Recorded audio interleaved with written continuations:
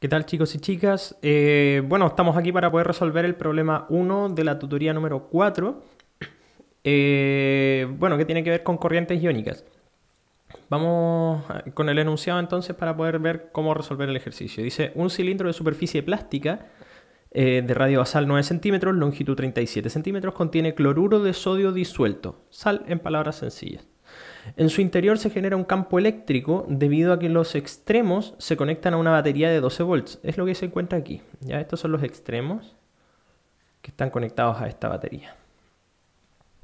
En 12 segundos se observa que eh, se observa que 2,7 por 10 a la 18 iones de sodio positivos eh, bueno, se mueven hacia la derecha y ese mismo número de eh, iones, Cl- o cloro se está moviendo hacia la izquierda.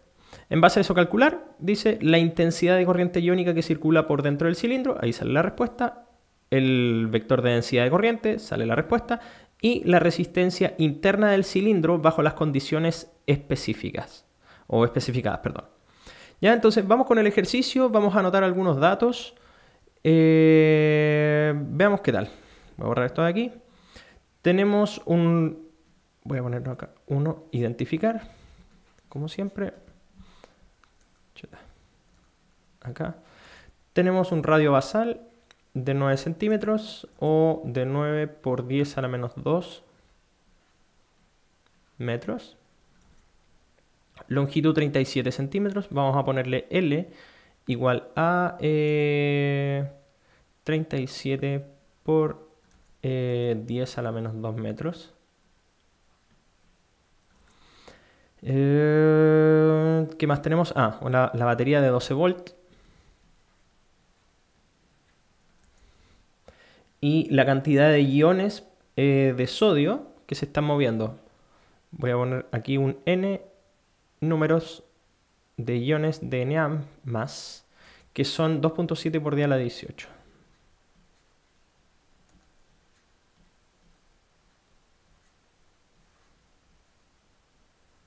Ya que en este caso sería la carga del, electrón, pero obviamente positiva. ¿ya? Eh, lo mismo para el cloro.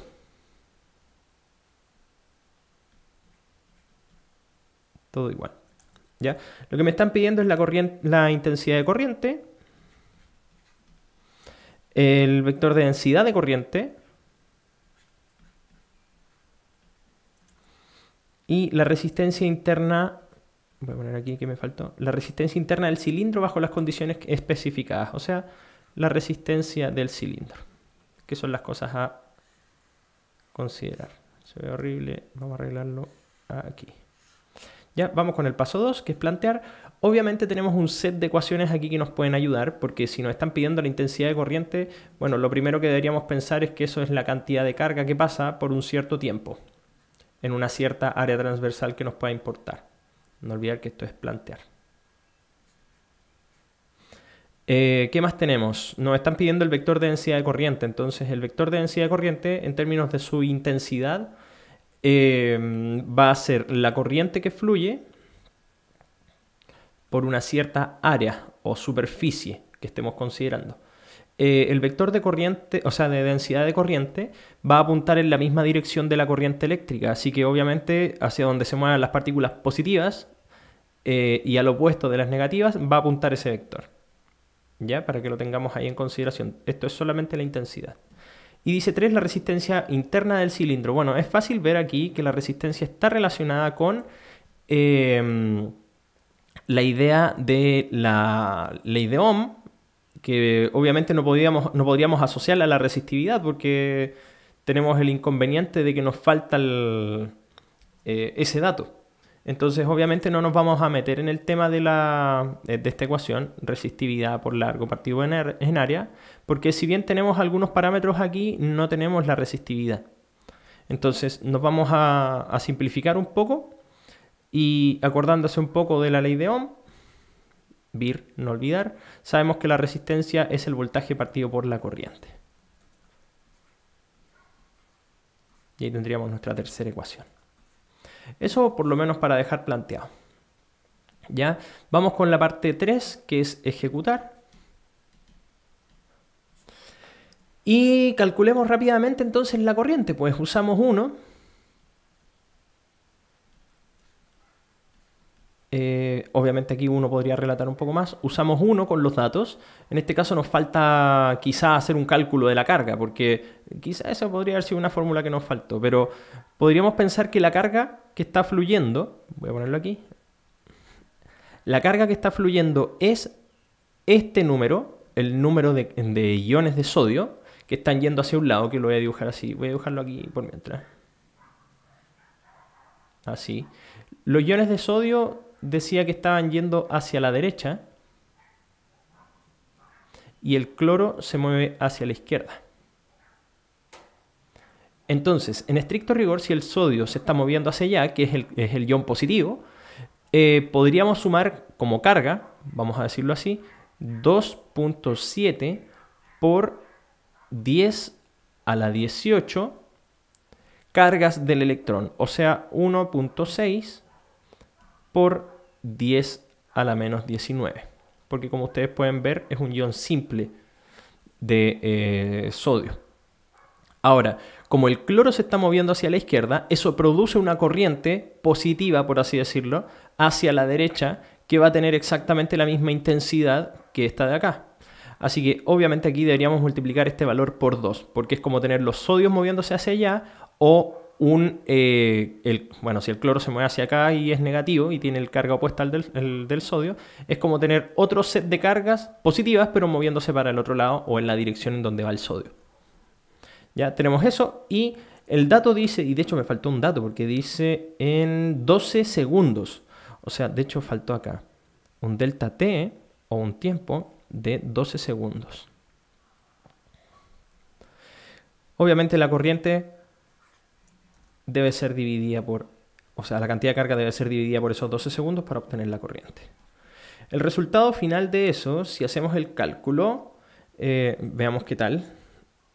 Son 2 por 2.7 a la 18 y todo eso dividido en 12. Eh, oh, me faltó algo aquí. Por 1.6 por 10 a la menos 19. Ahí si se fijan nos dio 0.072 amperes y que si lo multiplicamos por 1000 para obtener el, factor del mili nos da 72 miliamperes que confirma eh, por supuesto el resultado. Como siempre, los resultados encerrarlos en un rectángulo, porque es un resultado importante.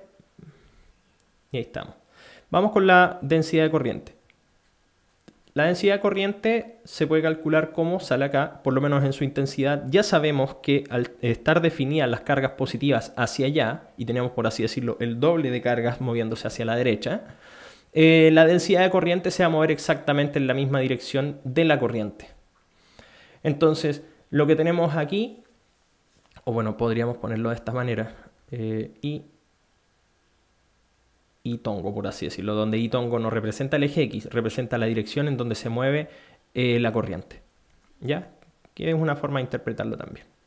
Entonces sería los 76 miliamperes, eh, perdón acá, 72, estoy, estoy puro leseando, perdón. 72, ahí. O 72 por 10 a la menos 3, que es el mili, no olvidar, dividido en el área en donde están pasando estas cargas. Ahora, el área, por supuesto, solamente vamos a ocupar ese dato y vamos a, eh, vamos a saber que como es un cilindro, eh, tenemos que calcular el área de una circunferencia, entonces eso sería pi por r cuadrado, o sea, 3,14 más o menos por SR 9 por 10 a la menos 2 metros al cuadrado. Si hacemos ese cálculo, y ahora podríamos verlo, 0.072 eh, dividido en 3,14 por paréntesis eso al cuadrado Y el radio basal, 9 por 10 a la menos 2. Eso nos da 2.83 aproximadamente. ¿Ya? Y como estábamos haciendo una división entre una corriente, o sea, amperes, y esto está en metros cuadrados, que es una superficie, entonces el resultado lo dejamos expresado en amperes partido por metro cuadrado. 2,83 amperes metro cuadrado.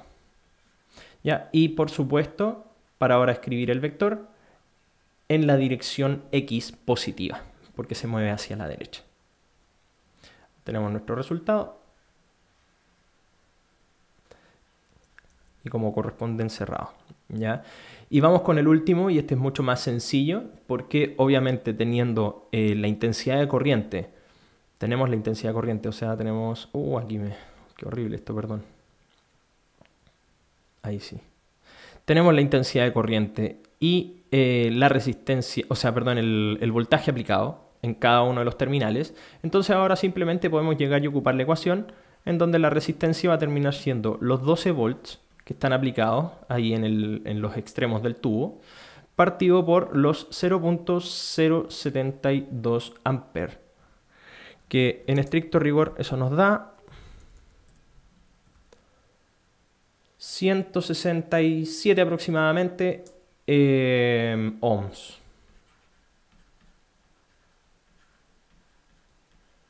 de resistencia, por supuesto, del cilindro.